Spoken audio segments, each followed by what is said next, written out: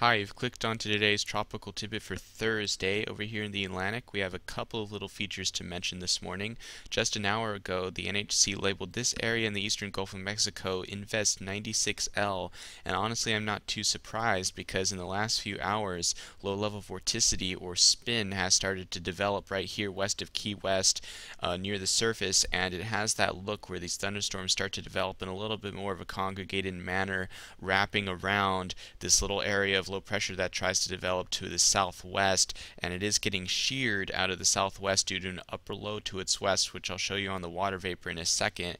And uh, it's not expected to significantly develop, and I don't think it's going to develop into a tropical depression, but it will be moving north towards the Florida panhandle near Apalachicola or around that area during the next couple of days, and probably won't be able to do a whole lot underneath the shear that it's under, but it is prudent to keep it under watch as it is in proximity to Florida and will be making landfall, bringing some uh, welcomed rains to Florida, continuing to soak them over there and bringing some of that rain farther north, but probably not a significant threat for development.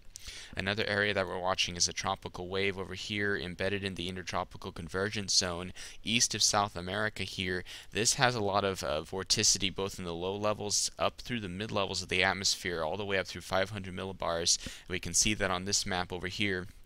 We can see some of the vorticity with our Gulf of Mexico system, and we can see uh, the wave sitting over here near 50 west longitude as well. This wave will be moving uh, west-northwest, going to be hard-pressed to avoid South America here, probably going to clip at least northern Venezuela or Trinidad. This general area may end up partially overland as it moves across Venezuela and then on into the Caribbean, and we may have to watch it once it gets into the Caribbean here since it's a well-defined system, unsure how much land passage here is going to mess it up, uh, but it will be something that will be tracking all the way across here as a defined entity that we may have to monitor as it will have a long way to go. And these tropical waves, once they get further west into the Caribbean in the early part of the season, do have to be watched, especially when they are well defined this far east before getting into the Caribbean.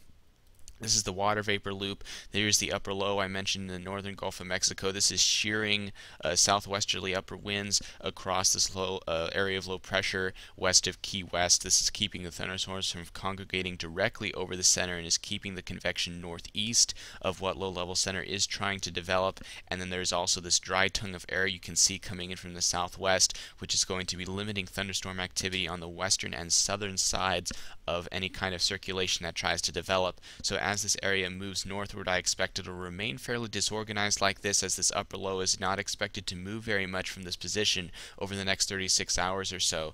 So this system is not expected to significantly develop, but again, we'll be bringing some rain and it is worth monitoring since the low level vorticity is starting to increase with the system. Here's our wave. Uh, in a well ventilated environment for now. We have this upper trough uh, north of Puerto Rico over here, uh, basically a TUTT like feature that is uh, ventilating the eastern Caribbean by bringing air out of the atmosphere in the upper levels over here, allowing air pressures to try to lower in this area. And this is moving into a fairly favorable environment right here. As soon as it gets into the central to eastern Caribbean, it'll start to feel some wind shear from this upper trough, which will make it harder for it to develop. But as this trough gets more strung out over here across the Central Caribbean as forecasted by the models, this may have um, more opportunity to develop in the Western Caribbean once it gets past that and splits through the trough and ends up on the other side where wind shear will again be lower and conditions aloft will be more conducive for possible mischief. Though at this time, none of the computer models really want to develop the system a whole lot. They keep it an open wave throughout its whole journey west northwest into the Caribbean. So it's just something to monitor for now, given it's that it is well defined, and we'll continue to watch that over the next several days as the MJO pulse remains favorable in this area of the world for activity through at least mid-month, possibly through the 20th. Alright, that's it for today. Thanks for watching.